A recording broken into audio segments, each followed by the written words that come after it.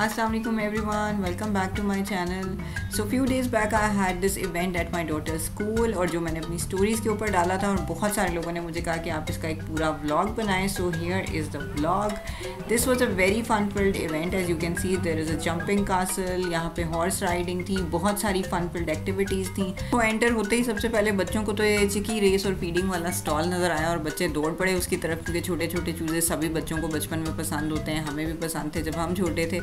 So they were really excited कि चिकीज़ को कैसे खाना खिलाना है और उनकी रेस वगैरह क्या करनी है। सो so, थोड़ा बहुत उन्होंने यहाँ पर इंजॉय किया और उसके बाद they move on to the next stalls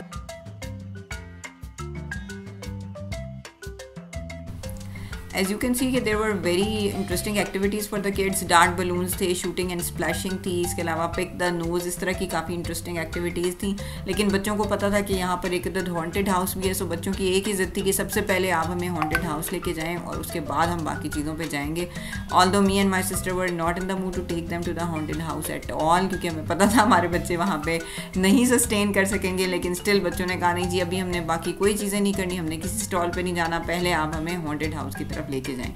बहुत ही मुश्किल से मैंने और मेरी बहन ने दो तीन बच्चों को स्टॉल्स का विज़िट कराया और उसके बाद since they were very persistent they were ready to go to the jump in castle horse riding करने में ट्रैम्पलिन में बिल्कुल भी इंटरेस्टेड नहीं थे। उन्होंने कहा, नहीं जी, आप हमें हॉन्टेड हाउस लेके जाएँ, उसके बाद ही हम बाकी सारी चीज़ों को एक्सप्लोर करेंगे। So me and my sister had no option but to take them to the haunted house और हुआ क्या, जब हम हॉन्टेड हाउस पहुँचे तो वो भी मैं आपको वीडियो में बताती हूँ। So on the way to the haunted house there was this chocolate fountain stall इसके अलावा यहाँ पर बहुत सारे फ़ूड आइटम्स अवेलेबल थे काफ़ी सारे रेस्टोरेंट्स के स्टॉल्स भी थे बट अनफॉर्चुनेटली उस एरिया को we couldn't explore much because हम बच्चों के साथ ही लगे रहे and we were like really occupied तो हमने वो एरिया ज़्यादा एक्सप्लोर किया भी नहीं हॉन्टेड हाउस जाने से पहले बच्चे बहुत ही एक्साइटेड हैं as you can see in the pictures मगर हॉन्टेड हाउस के पास जाते ही जैसे बच्चों ने एक अदर चीख की आवाज़ सुनी और बच्चे फ़ौरन इनकारी हो गए कि अब हमने अंदर जाना ही नहीं है।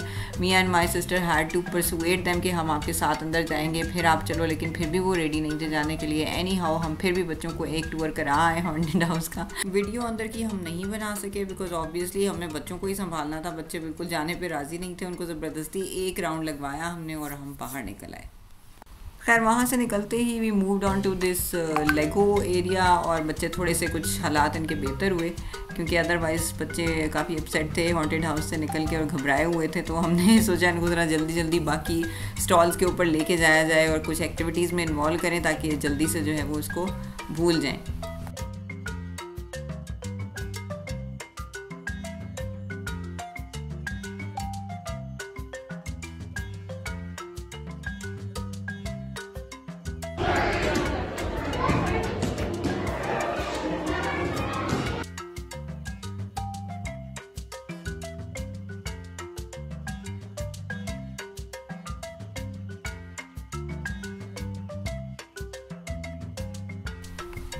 उसके बाद क्योंकि बच्चे अब जो है वो रेडी थे किसी भी और स्टॉल के ऊपर जाने के लिए तो हम अब बच्चों को बाकी स्टॉल्स की तरफ़ लेके गए। सबसे पहले मैं अपनी बेटी को मेहंदी वाले स्टॉल के ऊपर लेके गई। Meanwhile my sister took my nephew to the treasure hunt वाला stall so since my daughter was excited about her mehndi उतना ही excited my nephew was regarding the treasure hunt उसने ये सैंड पिट में से कुछ छोटे मोटे काफ़ी सारे ट्रेजर्स निकाल लिए इतनी देर में, जितनी देर तक मेरी बेटी मेहंदी लगवा रही थी।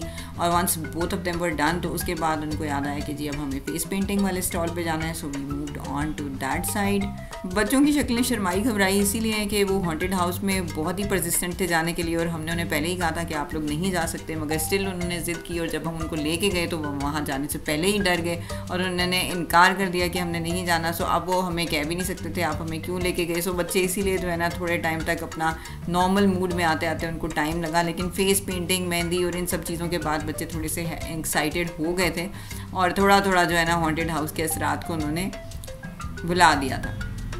एज़ यू कैन सी बच्चों ने अपनी मर्ज़ी के जो फेस पेंट्स हैं वो करवा लिए हैं। My daughter wanted this rainbow style और my nephew wanted spider man उसके बाद my daughter came to this hair styling booth और यहाँ पर वो अपना हेयर स्टाइल बनवा रही थी। Meanwhile my nephew went to the cheeky race और उसने जाके एक चिकी uh, की रेस करवाई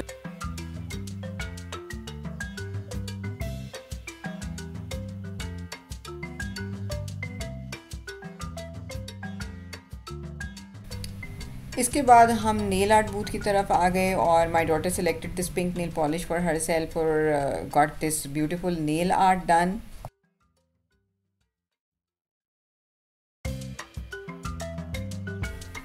along with these activities, there was live music, magic show और बहुत कुछ था यहाँ पर बच्चों के लिए, लेकिन अनफॉर्चुनेटली मैं सारों को तो कवर नहीं कर सकी। ये एक इंटरेस्टिंग एक्टिविटीज़ थी जहाँ पर you spin the wheel and you select a plant और उसके बाद आपको उसके सीड्स मिलते हैं और आप वो प्लांट अपने कप में ग्रो करते हैं। सो ये my daughter went for this one she selected the plant rosemary उसके बाद being the artistic soul that my daughter is she went to the art and craft booth और वहाँ पर उसने अपनी आर्टिस्टिक एबिलिटीज़ का काफ़ी फ़ायदा उठाया। बहुत सारी एक्टिविटीज़ और भी थी जिनको ऑफ़ कोर्स हम कवर नहीं कर सके, जैसे क्राउन मेकिंग गार्डलैंड मेकिंग बहुत सारी और एक्टिविटीज़ थी। हम जितनी को कवर कर सके उतने टाइम में ऑब्वियसली हमने उतनी ही को कवर किया।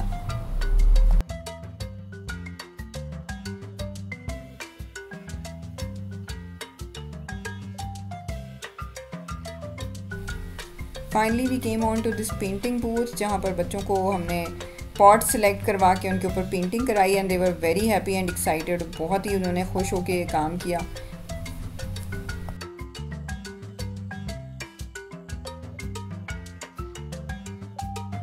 So overall it was a very interesting day बच्चे बहुत एक्साइटेड थे, सब एक्टिविटीज़ में बहुत इन्जॉय किया उन्होंने। बहुत सारी और एक्टिविटीज़ थी जिनको हम कवर नहीं भी कर सके, क्योंकि ऑब्वियसली टाइम शॉर्ट था और एक्टिविटीज़ बहुत ज़्यादा थी। So we chose the activities जो हमारे बच्चों को सबसे ज़्यादा पसंद है, लेकिन इसके अलावा भी बहुत सारी और एक्टिविटीज़ थी।